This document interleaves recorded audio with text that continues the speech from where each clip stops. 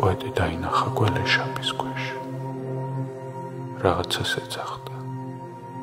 სახელს თუ სტატუსს.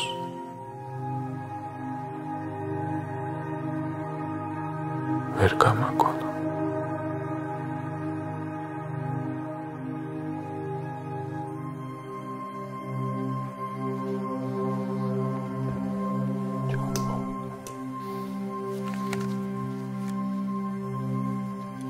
ეხლა ვარ ფიქრის პატარა ინსტრუმენტი, რომელიც ხანდახან ხორცს შეისხავს ხოლმე ნამუშევრებში და ჩემ ნამუშევრები ყველაზე მეც ლაპარაკობს ჩემზე.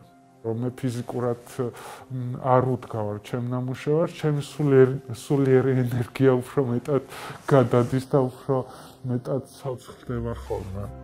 ჩამეხუტა.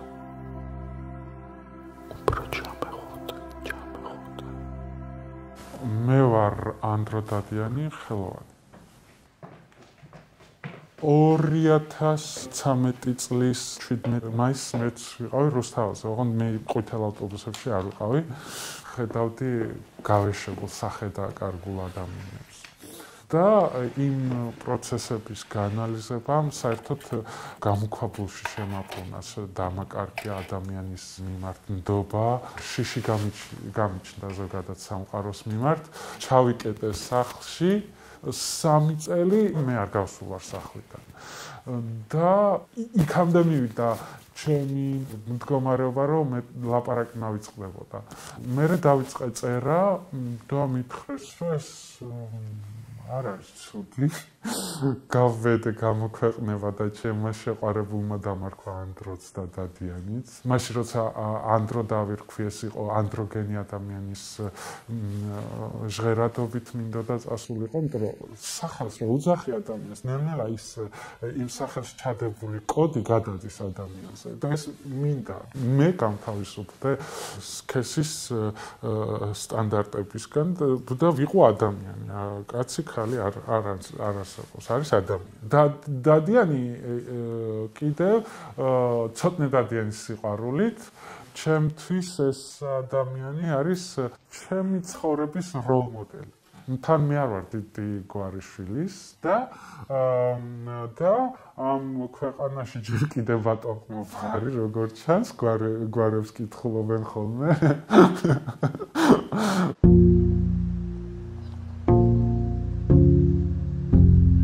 ძალიან ძიმი არის შემთთვის ამ ქვეყანაში გატარებული ყოველი დღე. ჭილაძე როგორც წერტს თვალს ყოველდილით ტკივილით ვახერ. ძალიან ბევრს შრომობ იმისთვის რომ და სრულიად მარტო იმისთვის რომ წინ წავიდე როგორც ხელოვანი. მაგრამ ამ გარემოში ეს ვერ ხერხდება. ხან განათლების საშუალება არა გაქვს ხან ისეთი ეკონომიკური პრობლემები დგება ხოლმე მუშაობაში, რომ უხერხულია ამაზე ლაპარაკი ჩემთვის კამერის წინ. მოვანგრიე საკუთარი იდენტობა ნიღბით და მე აღარ ვარ მიბმული საკუთარ ნაკვთებზე, საკუთარ გვარზე და ოჯახის შვილობაზე. კამერის წინ არ მიმიცია ინტერვიუ. მე ძალიან მიყვარს წერის პროცესი და ბეჭდური გამოცემებისთვის ყოველთვის ღია ვარ და წერის პროცესში ვპოულობ საკუთარ თავს ისეთ კუნჭულებში და ისეთ კუთხეებში შევძრები საკუთარი თავის, რომ მე თვითონ არ ვიცოდი ჩემში ამ ტერიტორიის არსებობის შესახებ.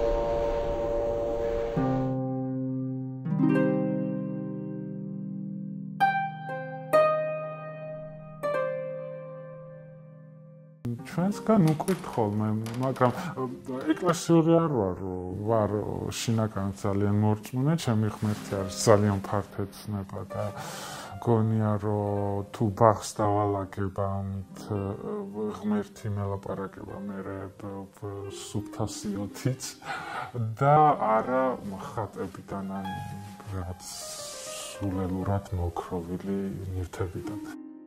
ყოველ ღამე ძილის წინ თავს დავდებ ბალიშზე მამაჩვენოს ვამბობ. სამყაროში ალბათ ყველაზე დიდი ვიბრაციის მქონე ტექსტია, მაგრამ იქ არის მოგვიტევენ ჩვენ, ვითარცა ჩვენ მიუტევთ თანამდებთა მათ ჩვენთან და ამ ფრაზასთან მიახლოება არის ისეთი რთული, ისეთი რთული და გაიცულებს, რომ სამყაროს სამყაროს მიუტევო მეორე დღეს უფრო დიდი სიყვარულით და ღიაობით გაიხვიძო.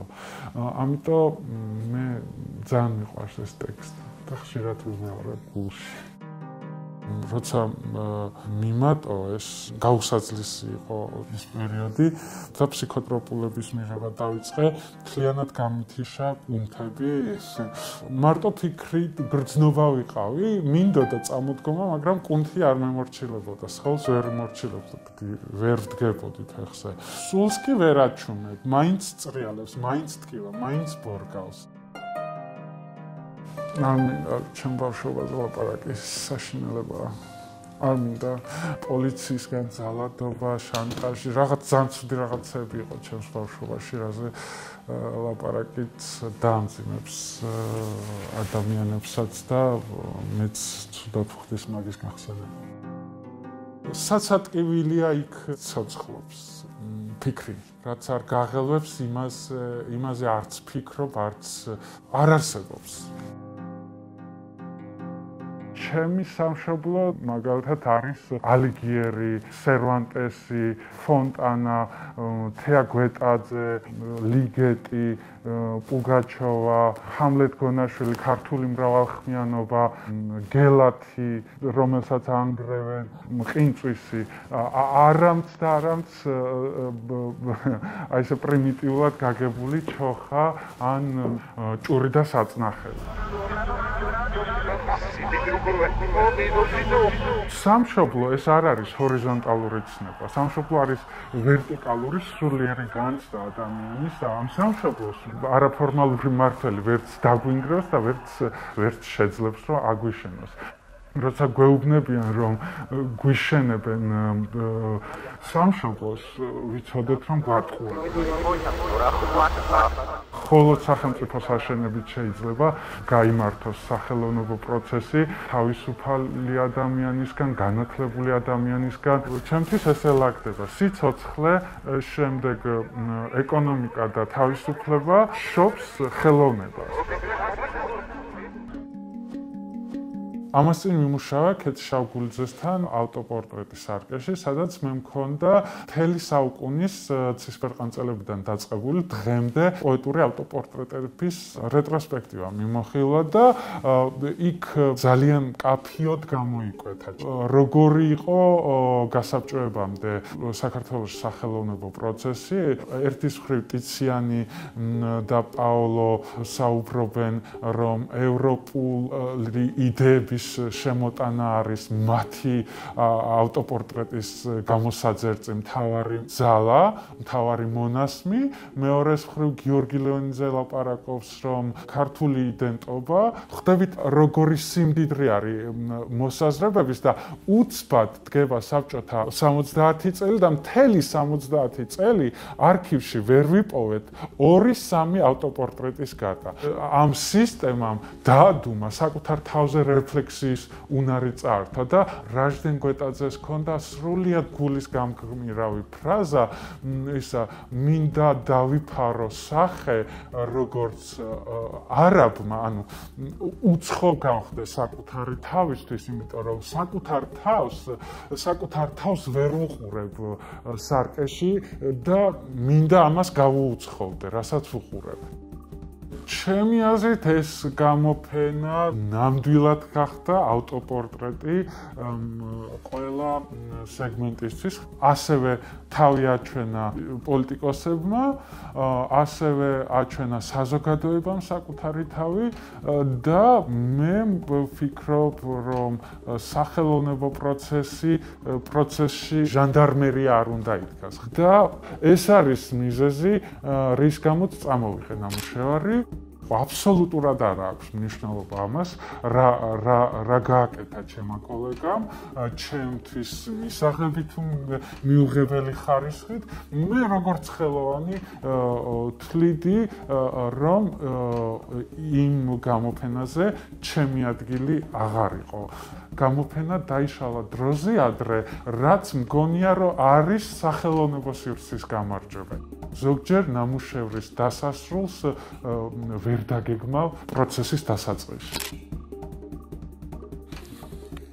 მოკლედ ეს უნდა ყოფილიყო ჩემი ავტოპორტრეტი. იყო თუ კი აქამდე სახელი და გვარი დავკარგე, საკუთარი სახე დავკარგე, ბოლო დროს მიმდინარე პროცესებმა ჩემს პირად ცხოვრებაში და ქვეყანაში სრულად წამართვა ხორცის საკუთარი სხეულის შეგრძნება. და მინდოდა რომ ეს ინდუსტრიულად შეფუთული, გადამუშავებული და გამოჭმული ხორცისგან დარჩენილი ყუთი ყუთი ყოფილიყო ჩემი ავტოპორტრეტი, რომელსაც გამოვცვლდი ყოველ დღე და 30 დღეში გამოდიოდა დაახლოებით იმდენი კილო ხორცის ყუთი, რაწონასაც მე ვატარებ.